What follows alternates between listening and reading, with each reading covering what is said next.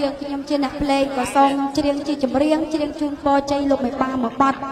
ចាដែលមានចំណងជើងថាបទកេរយន្តសាខ្សែស្រីនេះគេឈៀនបាក់បអាតែសូមសូមអធិស្ឋានចិត្តនេះណាបាទម៉ោង7បាទ7 15នាទីស្ដីលើកកំណត់អាចរួមចូលរួមជាយទៀតណាបាទម៉ោង7 15នាទីក្ដីវេលាស្ងាយស្អែកទៀតអញ្ចឹងច្រើ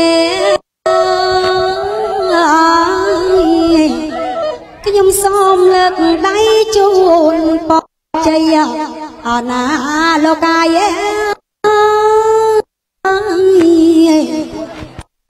សួស្តីគ្រប់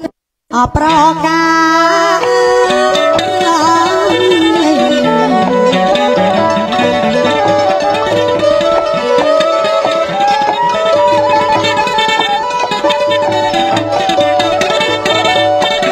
សូមអស់លោកមេបាបានប្រកប អីអេអាយរាប្រកបតែសុខាអើយបានជោគហើយជ័យរៀងរាល់ថ្ងៃ